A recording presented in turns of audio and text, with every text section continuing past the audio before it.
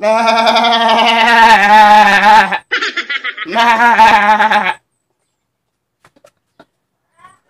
hey yo!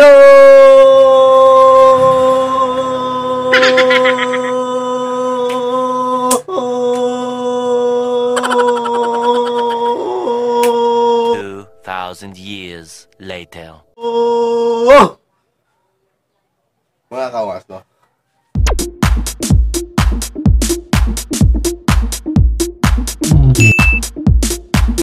So yun mga kawas, welcome back sa panibagong video.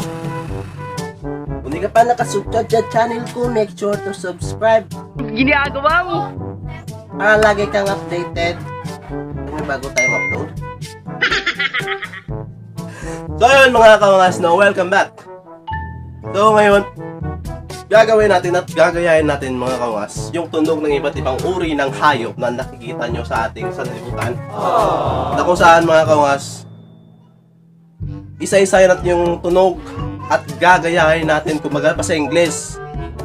I-impersonate natin ang mga iba't ibang uri ng hayop na hindi natin nakikita na hindi natin nawala ng Wow! Lalo! So yun na nga mga kaungas.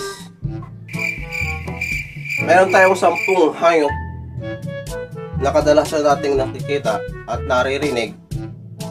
Pero hindi hindi nyo alam kung bakit anong ibig sabihin ng hayop na sinasabi nila. Ang tunog na kanilang ginagawa. No? So, ito na yung una sa listahan mga kongas. Ito ay karaniwang makikita sa palayan. Kadalasang ginagamit o katuwang ng mga magsasaka. Ay, ito ay walang iba kundi ay ang caribou. Sama ko, Kas. Oh! so next, mga kaungas, ang pangalawa sa listahan mga kaungas, no? Ito ay ang sinaguriang pambansang Ah, ano ba? Hayop. Hindi pwede pambansang hayop kasi normal na yun. Pambansang pinaw, pinagpupunan ng gatas. Ito yung Came, cambing. Cambing. Sama kas. Ito ang kambing. So,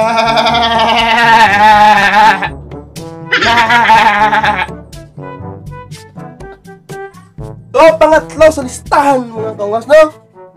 Ito ay ang lumilipad. Pero hindi kasing taas. Hindi kasing taas ng lumilipad. Pero nangito. Ito ay ang chick and chick and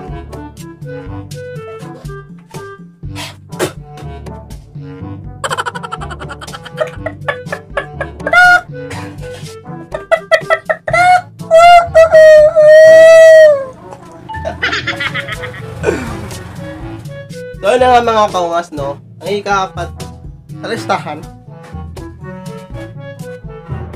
Ito ang ikapat. Hulaan nyo kung ano. Ito ay ang ah, ano ba? Meron siyang taglay na iba't ibang kulay. At higit sa lahat, lahi ito ng manok. Chicken. Walang iba. Hindi, ito ay tinuriang makulay na balayibo. Ito yung Paika. Paika. So ito yon.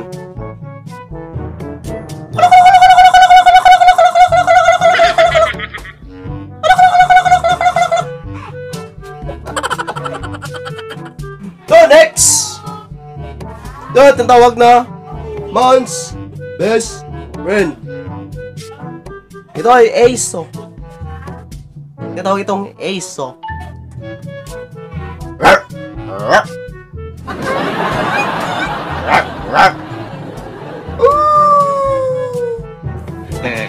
Galing ah.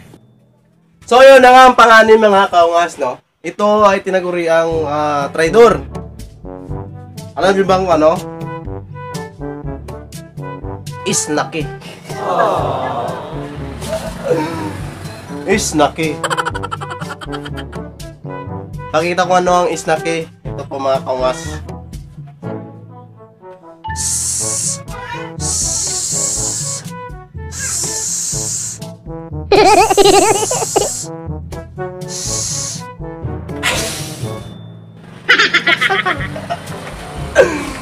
So, yun na nga. Ranging from 1 to 6, ito na yung ika-7 na tunog ng mga hayop na hindi nyo naririnig. O minsan narinig nyo pero hindi nyo alam ang kahulugan.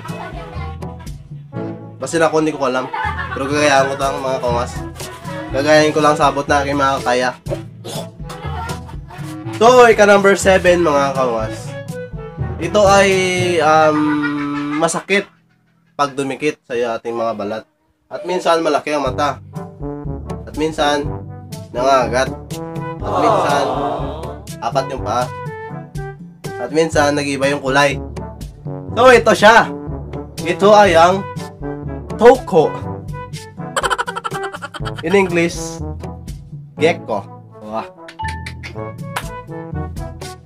So mga kongas, makinig kayo.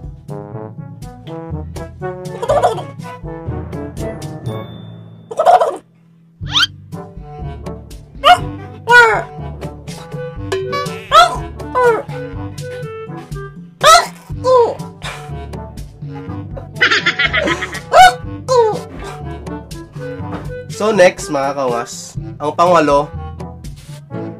Ang pangwalo mga kawas, kadalasan nakita yun sa mga kapagkainan na merong mansanas yung bunganga.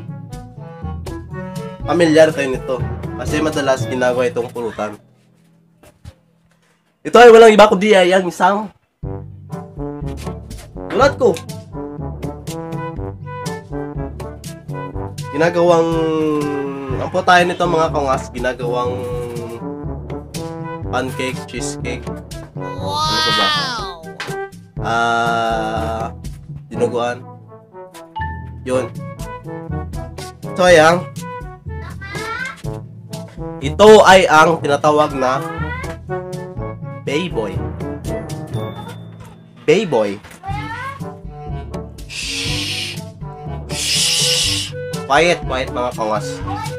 Kagayan ko ang Bayboy. Ginagawa mo.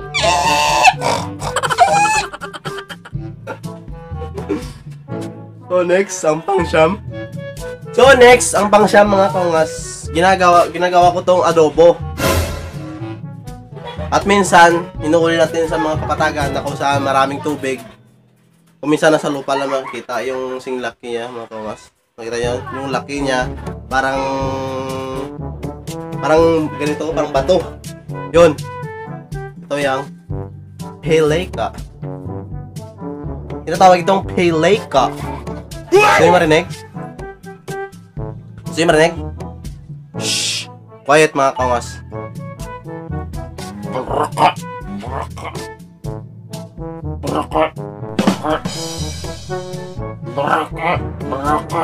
Nope. At yung pinakahuli mga kangas, no? Ito yung mga hayop na hindi pa rin endangered hanggang ngayon. Hanggang sa next generation na hindi pa rin nawawala. No? Ito ay ang tinaguri ang hindi hindi kumukupas yung kanilang tunog. At higit sa lahat mga kangas, pag narinig mo to, kapag ikaw yung tinutukoy ng hayop na to, sigurado, masaktan ka ng todo. Mga kangas, ang pinakalas, ito ay ang tunog ng hayop. Ito ay ang tinatawag na kapitbahay nating mga chismosa. Mga kabarangay, mga kapurok, mga kaibigan, doon, mga kaibigan, na tinatawag nating mga chismosa, no? Uy, Mari, buntis pala si Ana. As in? Ay, nakakaloka! So, ngayon na nga mga kaungas, no? Ito na yung pagtatapos ng aking video for today's vlog. So, mga kaungas, I hope na nakasubscribe kayo and thank you everyone sa mga nanonood at mga nag-subscribe sa akin. Thank you all of you and God bless. So, by the way, see you sa next video na lang mga kaungas to. So, hanggang dito na lang. Maraming salamat po sa inyo lahat mga kaungas. Shout out for the joy. Ow! Woo!